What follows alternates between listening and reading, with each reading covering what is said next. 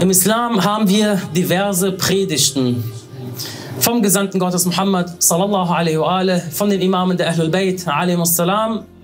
Viele Predigten sind uns geläufig und viele Predigten sind auch zeitlos, sodass wir sie jedes Jahr beispielsweise gerne und immer wieder hören, wie beispielsweise die Predigt des Gesandten Gottes sallallahu alaihi wa alaihi, zum Beginn des heiligen Monats Ramadan. Diese Predigt immer, wenn der Monat Ramadan kurz davor ist zu starten, wird diese Predigt verlesen, man hört diese Predigt, man schaut sich nochmal die Übersetzung an, man geht diese Predigt nochmal durch, um zu schauen, was hat es mit dem Monat Ramadan auf sich. Oder aber die bekannte Predigt des Gesandten Gottes sallallahu alaihi wa am Tage von Ghadir. Oder aber die äh, viele bekannte Predigten von Imam Ali a.s. Wir brauchen uns nur Nahjul Balagha anzuschauen und sehen zahlreiche Predigten von Imam Ali a.s. Sicherlich zwei Predigten stechen heraus. Einmal eine Predigt, die der Imam hielt, ohne den Buchstaben Alif zu benutzen, also den ersten Buchstaben im arabischen Alphabet. Er hat eine gesamte Predigt gehalten, ohne diesen wichtigen Buchstaben zu verwenden. Das ist so, als würde man jetzt sagen, halte eine Rede ohne den Buchstaben E zu verwenden. Der Buchstabe E kommt womöglich in fast jedem Wort vor, genauso wie Elif. Der Imam hat eine gesamte Predigt ohne den Buchstaben Elif gehalten. Oder aber die, eine andere Predigt des Imams, wo er ohne Buchstaben, die Predigt hatte ohne Buchstaben gehalten, die einen Punkt haben. Also wie Ba, Fa und so weiter. Und alle Buchstaben, die einen, alle Buchstaben, die einen Punkt haben, er hat eine Predigt ohne diese Buchstaben gehalten. Oder aber die bekannte Predigt von Fatima Zahra a.s., die sogenannte Fadakiya-Predigt. Auch eine extrem hervorragende Predigt der Herren der Frauen aller Welten, Fatima a.s., die sie in der Moschee gehalten hat, nachdem der Gesandte Gottes sallallahu verstarb. Genauso haben wir Predigten von allen anderen Imamen. Imam Abi Abdullah al-Hussein, salawatullahi hat auch am Tage von Ashura gesprochen und Predigten gehalten. Und diese Predigten hören wir immer wieder, wenn der Maktal verlesen wird, also die Trauerzeremonie des Imams rezitiert wird, in der jeweiligen Sprache, die die Geschwister dann hören, werden diese Predigten ebenfalls erwähnt. Und eine Sache haben diese Predigten alle gemeinsam. Sie strotzen vor Weisheit und Eloquenz. Sodass als Fatima beispielsweise salam, diese Predigt, diese Fadakiya-Predigt gehalten hat, man sagte, es ist, als würde der Gesandte Gottes Muhammad sallallahu alaihi Allahumma salli ala Muhammad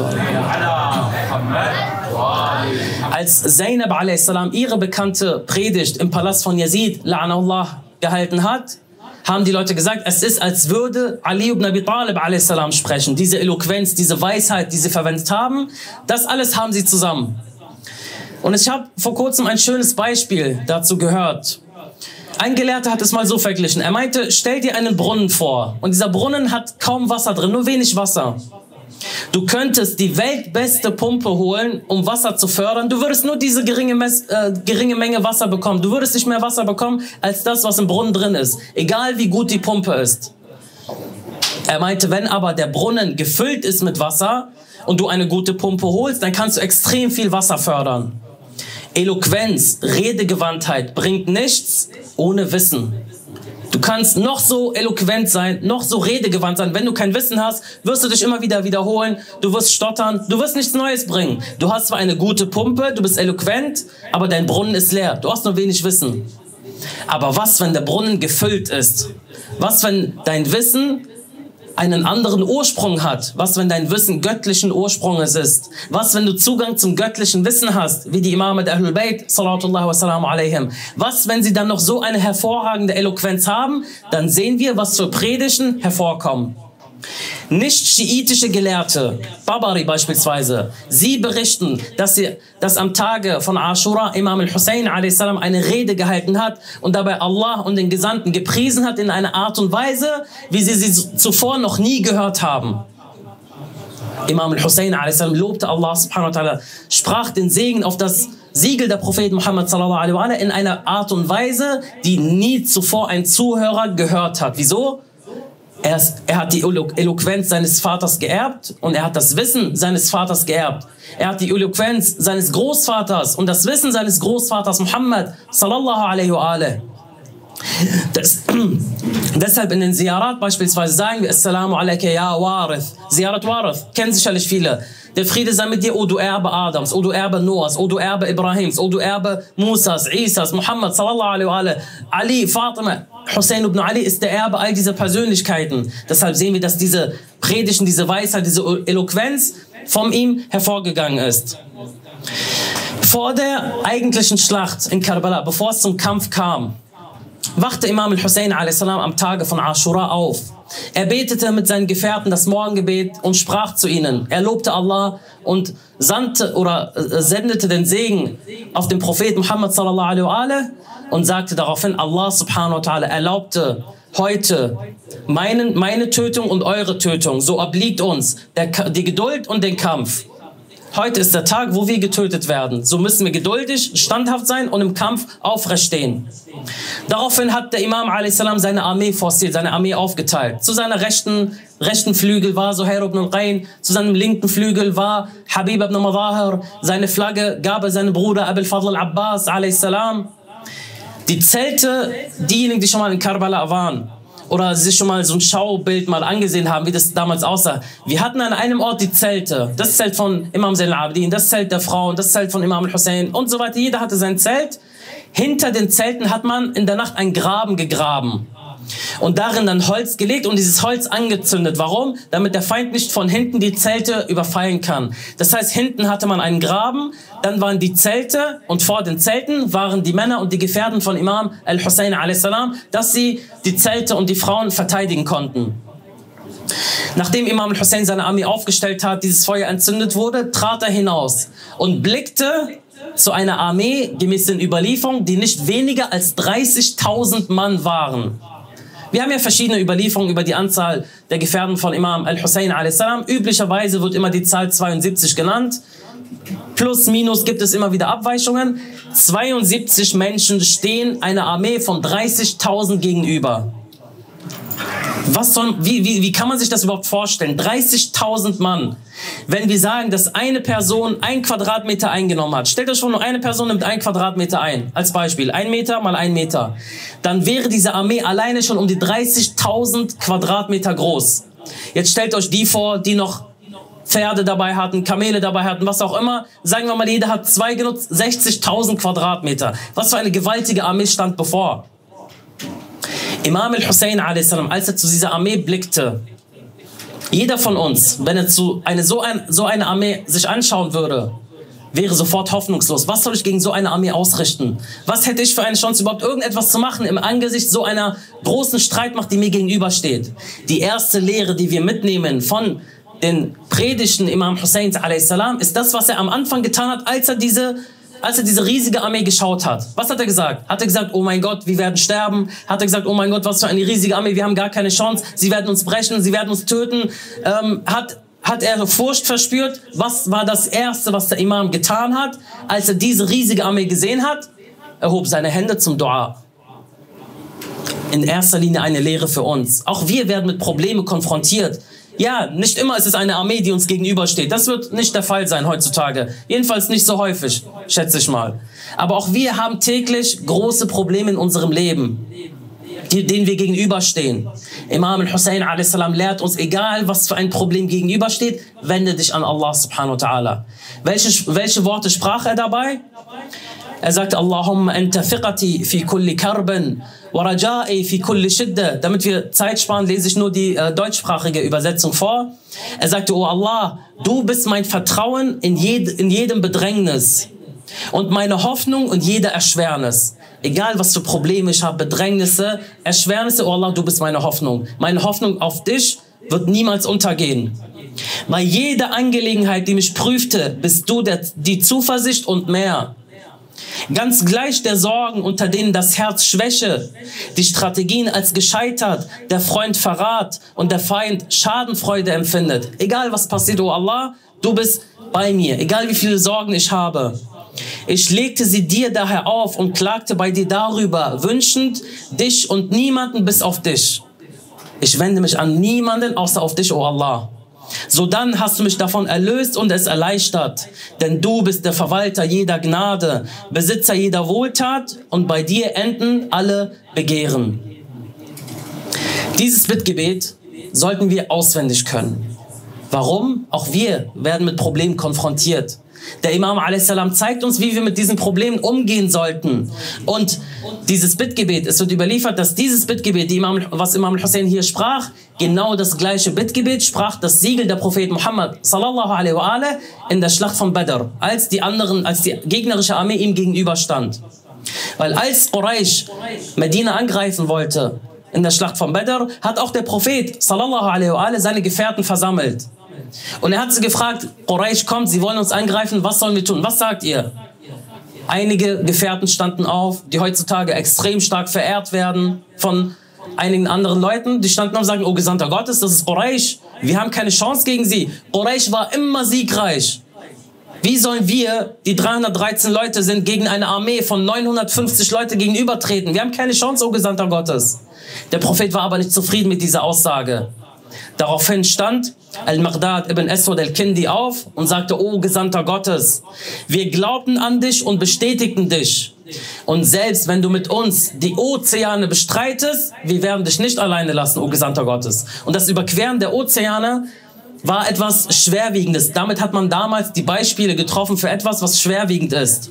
Maghdad sagte, O Gesandter Gottes, selbst wenn wir mit dir die Ozeane überqueren müssten, wir würden es tun. Und Sa'ad ibn Ma'ad stand auf und sagte, es scheint, dass du uns möchtest, o Gesandter Gottes. Er sagte, ja. Er sagte, o Gesandter Gottes, bei Allah, wir werden dich schützen und bei dir sein, egal was du tust. Daraufhin war der Prophet sallallahu alaihi glücklich, man hat, man hat ein Lächeln auf seinen reinen Lippen gesehen und er sagte, Allah subhanahu wa ta'ala hat uns den Sieg versprochen. Und er rezitierte daraufhin dieses Bittgebet, was Imam al-Hussein am Tage von Ashura rezitiert hat. Genau das gleiche Bittgebet. Manchmal stehen wir vor bestimmten Prüfungen und Probleme und verfallen in Hoffnungslosigkeit. Beispielsweise, wenn wir eine bestimmte Krankheit haben und auf die Diagnose warten und die Diagnose kommt, dass wir eine bestimmte Krankheit haben. Wir fühlen uns manchmal hoffnungslos. Warum ich, oh Allah? Warum habe ich immer Pech? Warum werde ich immer krank? Warum trifft immer das Unglück mich? Warum klappt meine Hochzeit nie, aber die von den anderen schon? Warum habe ich immer so viel Pech und die anderen haben so viel Glück? Wir tadeln Allah subhanahu wa ta'ala manchmal für die Sachen, die uns passieren. Wenn wir Probleme haben, Erschwernisse haben und jemanden anderen sehen, der scheinbar keine Probleme hat, glaubt nicht, dass er keine Probleme hat. Er hat eine andere Prüfung. Es gibt keinen auf dieser Welt, der keine Probleme hat. Jeder hat Probleme und seien die Probleme groß oder klein. Jeder wird getestet auf die Art und Weise, wie Allah subhanahu wa ta'ala es für ihn vorgesehen hat. Der Arme wird durch seine Armut geprüft, der Reiche wird durch seinen Reichtum geprüft. Glaubt nicht, dass jemand, der reich ist, dass er keine Prüfung hat. Reichtum ist womöglich eine viel größere Prüfung als Armut. Wieso? Der Reiche denkt, ich habe das von meiner Kraft aus geschafft, ich war klug, ich habe mich angestrengt, ich habe gearbeitet und das ist jetzt mein Verdienst. Allah brauche ich nicht, ich habe das selber gemacht. Sie verlieren die Bindung zu Allah subhanahu wa ta'ala. Sie denken, das ist meine, mein Ergebnis. Wobei sie nicht wissen, alles, was kommt, ist von Allah subhanahu wa ta'ala. Der Arme wenigstens, er ist arm, er hat nichts, seine Bindung ist immer zu Allah subhanahu wa ta'ala da. Das sehen wir manchmal, dass arme Menschen eine besondere spirituelle Bindung zu Allah subhanahu wa ta'ala haben. Das heißt, hier kann man wirklich sagen, die Prüfung des Reichen ist stärker als die Prüfung des Armen. Der Reiche, wenn er eine Million Euro auf dem Konto hat, Allah subhanahu wa ta'ala wird ihn über diese eine Million befragen. Was hast du damit gemacht? Wie Imam Ali a.s. sagte, diese, als er diese Welt beschrieben hat, das Erlaubte, dafür musst du Rechenschaft ablegen und für das Verbotene wirst du bestraft. Du hast so viel Geld, wo, wer hat dir das Geld gegeben? Das ist, von, das ist der Rizq von Allah subhanahu wa ta'ala. Was hast du damit gemacht? Wie bist du damit umgegangen? Wir werden über jede einzelne Sache befragt werden, die wir haben. Aber jemand, der nichts hat, worüber soll er befragt werden? Derjenige, der Reiche, dessen Prüfung ist eventuell schwerwiegender als die des Armen. Der Gesunde soll nicht glauben, seine Gesundheit ist keine Prüfung. Du, der du gesund bist, danke Allah für deine Gesundheit. Aber wisse, dass auch dies eine Prüfung für dich ist. Warum? Wie gehst du mit deiner Gesundheit um? Wie gehst du mit deiner Stärke um? Setzt du sie für, die, für den Weg Allah subhanahu wa ta'ala ein oder verschwendest du es? Wenn du am Tage des Gerichts vor Allah subhanahu wa ta'ala trittst und du sagst, ich war nicht krank, ich war gesund, ich hatte Stärke, ich hatte Zeit, aber ich habe nichts gemacht. Ich bin meinen Pflichten nicht nachgekommen gegenüber jemandem, der vor Allah subhanahu wa ta'ala tritt, der sagt, oh Allah, du weißt, ich war krank, ich konnte kaum laufen, ich hatte diese Probleme, ich habe mein Möglichstes getan, aber ich konnte nicht mehr machen. Ich konnte nicht so aktiv sein und auf dem islamischen Weg. Ich hatte diese Probleme. Der ist wenigstens entschuldigt. Was ist deine Entschuldigung? Der Kranke wird mit seiner Krankheit geprüft und der Gesunde wird mit seiner Gesundheit geprüft. Keiner soll also denken, jemand anderes ist verschont. Und wir werden mit diesen Sachen konfrontiert. Aber was sagt der Imam a.s.? Was lehrt er uns? Er sagt, egal was passiert, egal welche Sorgen mich treffen, ich wende mich an Allah subhanahu wa ta'ala. Denn er ist die Quelle der Allmacht. Er ist derjenige, der all meine Probleme lösen kann. Er ist die einzige Bezugsquelle, die ich habe. Niemand ist imstande, mir zu helfen, außer Allah subhanahu wa ta'ala. Warum sollte ich mich an jemanden wenden, der mir nicht helfen kann? Aber Allah subhanahu wa ta'ala ist da. Und er sagte, solange, oh Allah, solange du auf meiner Seite bist, kann mir nichts geschehen. Und das ist eine Lehre für uns. Wenn wir wissen, wir sind auf dem Recht, dann brauchen wir nicht in Depression zu verfallen, in Hoffnungslosigkeit. Die Person tut mir Unrecht an. Die Person will mir mein Leben zur Hölle machen. Wisse, wenn Allah subhanahu wa ta'ala auf deiner Seite ist, dann mach dir keine Sorgen. Diese Person wird schon sehen, was sie davon hat. Lass diese Sachen nicht nah an dich herangehen und sagen, oh Allah, warum habe ich immer Pech, warum habe ich immer diese Probleme? Hab Geduld und Allah wird deine Angelegenheit regeln. Allah, Allah ladhina amanu. Allah ist das Form und derjenigen, die glauben. Allah ist der Verwalter unserer Angelegenheit. Der Imam sagt, oh Allah, diese Streitmacht, jeder andere wäre hoffnungslo hoffnungslos. Aber ich sage, oh Allah, meine Hoffnung besteht immer noch weiterhin in dir, oh Allah. Du bist mein Beschützer, du bist mein Wali, an dich wende ich mich. Denn du bist die Kraft und du bist die Quelle der Versorgung. Du bist die Quelle der Macht. Der Imam a.s. sah darauf hin, also diese großen Mächte, hat den Dua gemacht und ritt dann auf sein Kamel und trat der Armee gegenüber. Was hat der Imam gemacht? Hat er sofort den Kampf gestartet? Nein. Erstmal Mau'idha. Erstmal sprechen. Erstmal Worte. Bevor es zum Kampf kommt, bevor es zum Konflikt kommt, spreche ich erstmal mit ihnen bevor wir ein Problem mit jemandem haben und ihn sofort angreifen, sofort beleidigen, sofort beschimpfen, sofort auf ihn losgehen, rede mit ihm. Mau'adha, ermahne ihn. Und das war das Erste, was Imam al-Hussein a.s. getan hat. Sie stehen mit einer Armee von 30.000. Sie wollen ihm sicherlich nicht irgendwas geben oder gut mit ihm umgehen. Sie wollen ihn töten, das weiß der Imam. Aber er sagte, trotz dessen habe ich eine Aufgabe, nämlich sie zu ermahnen. Der Imam sagte, oh ihr Menschen, hört meine Worte und seid nicht voreilig in eurer Entscheidung mir gegenüber, bis ich euch mit euren Pflichten mir gegenüber ermahne und euch erkläre, weshalb ich zu euch gekommen bin. Mit anderen Worten, der Imam steht da und sagt, ihr habt ein Recht mir gegenüber. Moment mal, Imam al-Hussein a.s. und gegenüber ist Banu Umayyah. Banu Umayyah hat ein Recht gegenüber dem Imam. Der Imam sagt ja. Und schaut die Aufrichtigkeit des Imams a.s. Der Imam sagt, ihr habt ein Recht mir gegenüber. Ich werde euch ermahnen. Die Rechtleitung. Was ist dieses Recht? Das Recht der Rechtleitung. Egal, ob ihr mich akzeptiert oder nicht, ich bin der Imam der Zeit. Ich bin der Imam Ma'asum. Meine Pflicht ist es, euch recht zu leiten, euch die Wahrheit aufzuzeigen, euch zu ermahnen und dann könnt ihr tun, was ihr wollt. Hauptsache, ihr habt die Hujja bekommen. Und das ist genau das, was das Siegel der Prophet Muhammad sallallahu alaihi wa tat. Er hat die Hujja zu jedem einzelnen Menschen gebracht und gesagt, jetzt könnt ihr entscheiden. Ihr könnt Weg A oder Weg B entscheiden. Aber die Wahrheit ist euch deutlich. La ikraha din, qad min al Es gibt keinen Zwang in der Religion. Die Rechtsleitung ist offensichtlich von dem Weg der Falschheit. Und der Imam a.s. hat daraufhin angefangen, mit ihnen zu sprechen und sie zu ermahnen. Und hier steckt auch eine Lehre für uns. Ich bekomme sehr oft Nachrichten von Geschwistern, die sagen, ich würde gerne meinen Vater, meine Mutter, ich habe zum Islam gefunden, ich habe zur Schule der Ahlbayt gefunden, ich würde so gerne meine Familie recht leiten. Wie kann ich sie zu Schiiten machen? Wie kann ich meine Freunde zu Schiiten machen, zu Muslime machen, was auch immer? Wir sollten nicht aus dieser Perspektive an die Sache herangehen. Wir sollten die Wahrheit aufzeigen. Unsere Pflicht ist es, die Hujja aufzuzeigen. Wir werden nicht dafür befragt oder wir werden nicht dafür bestraft, wenn wir es nicht schaffen, jemanden zum Schiiten zu machen. Wir werden aber dafür befragt, wenn wir nicht die Wahrheit aufzeigen. Wenn wir sagen, das ist der Weg der Wahrheit, der Weg von Al-Muhammad ist der Weg der, Richt der Wahrheit. Schau, das sind die Beweise, das haben die Ahlbayt gemacht. Schau, das sind die Probleme, die wir in anderen Rechtsschulen beispielsweise sehen. Aber schau, so haben es die Imame der Ahlbayt gelöst. Es ist unsere Aufgabe, die Imame der Ahlbayt in einem wunderschönen Licht zu präsentieren. Nicht nur durch unsere Worte, sondern in erster Linie durch unser Verhalten. Weil wir das schon ein paar Mal angesprochen haben. Was sagt ihr, wie jetzt beispielsweise Nicht-Muslime, wenn sie jetzt diese Straße entlang laufen und sie wissen, hier findet eine muslimische Veranstaltung statt? Was würden sie denken, wenn sie sehen, die Straßen sind vermüllt und verdreckt und Kaffeebecher liegen da und Essensreste und überall wird falsch geparkt und das und das? Was für einen Eindruck haben sie? Und was für einen Eindruck hätten Sie, wenn Sie genau die gleiche, gleiche Straße entlang laufen und plötzlich stehen da Leute, die räumen die Straße auf, die machen alles sauber, die haben, sagen zum Beispiel, wo man parken darf, wo nicht. Sie helfen anderen, sie verteilen eventuell Getränke an die Passanten, die vorbeilaufen. Als Beispiel, was für einen Eindruck hätte man da gewonnen? Die Imame der Ahlbayt sagen, seid uns eine Zierde, nicht durch eure Zunge, sondern durch eure Taten. Sodass, wenn die Menschen euch sehen, sagen, Rahimallah Ja'far ibn Muhammad, möge Allah sich Ja'far ibn Muhammad erbarmen, er hat seine Schia erzogen. Er hat seine Schia wirklich zum richtigen Weg geführt. Heutzutage, wenn man viele Schia, viele Anhänger der Schule der Ahlbayt sehen würde, würden die Leute sagen, Rahim Allah Ja'far ibn Muhammad? Würden sagen, Allah erbarme sich Ja'far ibn Muhammad? Oder würden sie was anderes sagen?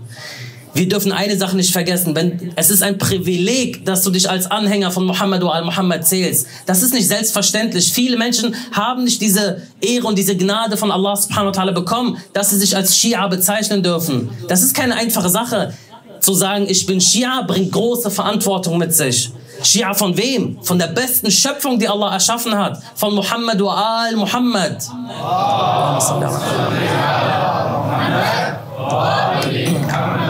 Du willst dich Shia nennen? Nenn dich Shia, gerne. Aber dann wisse, was deine Aufgabe und deine Verantwortung ist. Schia zu sein bedeutet, gut mit, dein, mit deinen Mitmenschen umzugehen. Schia zu sein bedeutet, gut mit deinen Eltern umzugehen. Schia zu sein bedeutet, nach Wissen zu streben. Schia zu sein bedeutet, sich von den verbotenen Dingen fernzuhalten. Schia zu sein bedeutet, den Weg von Imam al-Hussein a.s. zu gehen. Das bedeutet Schia sein. Schia ist nicht nur in Muharram zu stehen, zu weinen, sich auf die Brust zu klopfen und fertig. Nein, das ist ein Ausdruck der Trauer um Imam al-Hussein. Ja, das ist aber der Anfang. Schia zu sein ist nicht in den Moscheen, Schia zu sein ist draußen auf der Straße. Schia zu sein ist, wenn du alleine zu Hause bist und denkst, niemand beobachtet dich, wenn du deine Sünden begehst. Dann zeigt sich, ob du ein Schia bist oder nicht. Hier in den Moscheen sind wir alle Masumin, Alhamdulillah. In den Moscheen, wenn alle zugucken, keiner von uns macht Fehler. Die Gebete sind sehr lang, die schönste Rezitation, Sujud ist extra lang, wir machen noch Nafila-Gebete. Hier sind wir alle Schia, kein Problem. Aber wie, inwiefern sind wir Schia, wenn wir diese Tür verlassen? Wenn wir alleine sind? Wenn wir mit unseren nicht-muslimischen Freunden sind? Wenn wir an Orte sind, wo wir denken, niemand sieht uns? Da zeigt sich, ob du ein wahrer Schia von Al-Muhammad bist. Deshalb, Schia zu sein, kann jeder behaupten. Die Taten zeigen es. Und Imam al-Hussein macht hier darauf aufmerksam und ermahnt sie. Und diese Ermahnung hat gefruchtet. Al-Hur bin Yazid al-Riyahi beispielsweise mit seinen Söhnen, mit anderen Leuten sind zum Imam übergelaufen. Al-Hur dachte nach und sagte, ich, die, es gibt einen Konflikt in mir. Inni ukhayru nafsi al-Jannati wan-Nar. Ich sehe mich gerade zwischen Paradies und Hölle. Ein Augenblick des Nachdenkens Ihr müsst euch das mal vorstellen. Keiner von uns hat solch eine Sünde wie, Yazid, äh, wie, wie Al-Hur bin Yazid al-Riyahi.